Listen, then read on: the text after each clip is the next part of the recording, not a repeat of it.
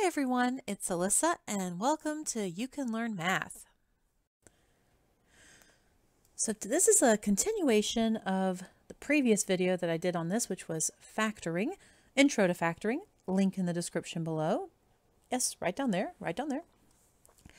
And in it we covered things like, say, x squared plus 3x plus 2. Okay, and covered things with the different signs. So we had plus, minus, minus, minus, minus, plus, all those combinations. The common thread between all of them was that there's no coefficient in front of the x. It's just a, an invisible but understood positive 1. So that's the, the sort of introduction. That's the first level of factoring. So if that's what you're looking for, and if you're looking for how do I know you know, what do these combinations of signs mean when I'm trying to factor? You know, is mean what means plus plus, what means minus minus, plus minus. You know what I'm saying? Like when you're doing the factoring. Um, okay, so all that is in part one, description, link in the description below. Okay, for this one, we'll call this factoring part two with negatives, the sequel. We keep going. Right, so this one today is when we have a negative in front of the x squared. Okay, now if you were just to tackle this on your own, what you might look at is go, okay, well last time we did the x times x. Okay, this is going to be a negative x times x. oh, okay, so then minus 36. All right, do I do a plus minus? Is the plus here? Is the minus here? Ah, but that's multiplying by negative. Okay. It's going to be difficult. It's not impossible, but it's going to be difficult. There is a very simple little magic trick you can do. It's going to make it so much easier. And if you've mastered the part in Intro to Factoring, then you'll master this in very, very short order because there's just one trick. And this is a my trick. Ta-da! Magic!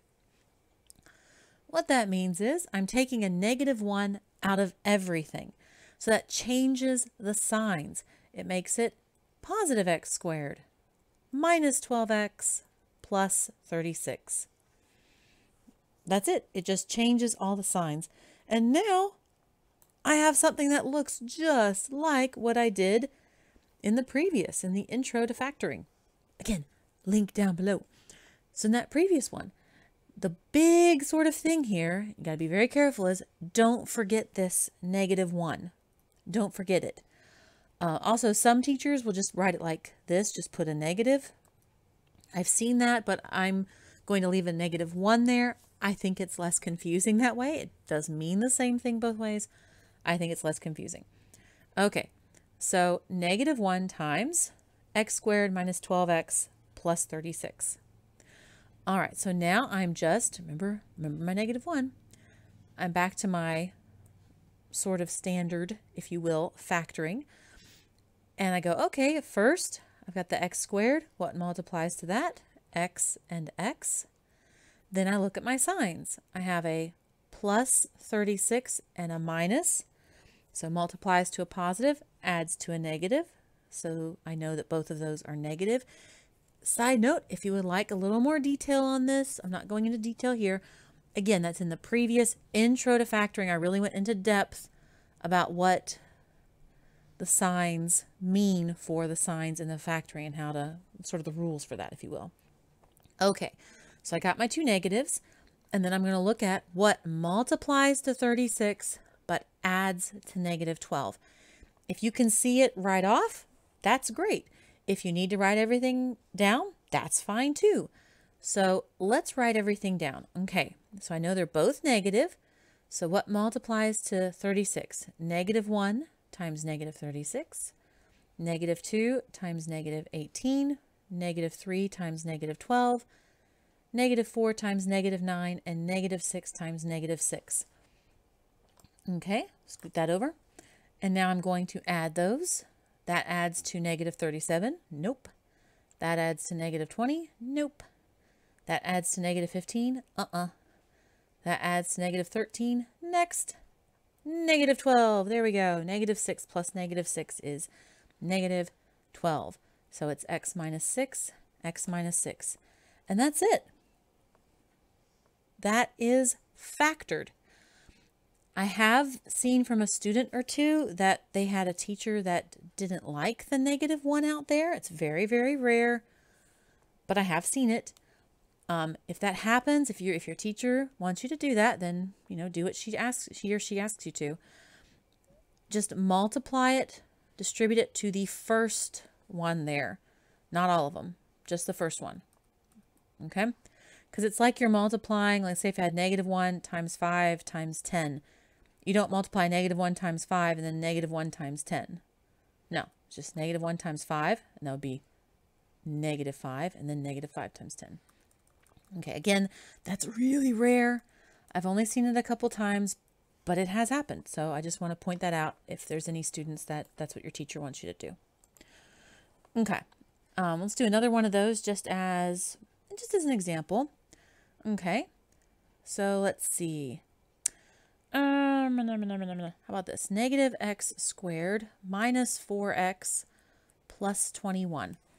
Okay, same thing having this negative out front, eh, that's going to cause some difficulties. It's going to make it harder than it needs to be. And we don't need it to be harder than it needs to be, right? So I'm going to take a negative 1 out of everything. Has to come out of everything. That's very key. So negative 1. And what's left inside? x squared plus 4x minus 21. Okay? Negative 1 times x squared plus 4x minus 21. It just changes the sign of all three terms. All right, so now let's start factoring. Again, we don't want to forget our negative 1. Bring it through every single time. What multiplies to x squared? x and x. Okay, now it's going to multiply to a negative 21, but to a positive 4. And these are both the same, so we know it's a plus and a minus. Again, if that's too fast or doesn't make sense, watch Intro to Factoring. So for negative 21, now we want something that multiplies to negative 21 and adds to 4. So I'm going to go over here. Because it's negative, I've got two sets. So I've got negative 1 and 21, or 1 and negative 21. And I have negative 3 and 7, or 3 and negative 7, because either one could be the negative. Now, if I add them together, negative 1 and 21 is a 20. 1 and negative 21 is a negative 20.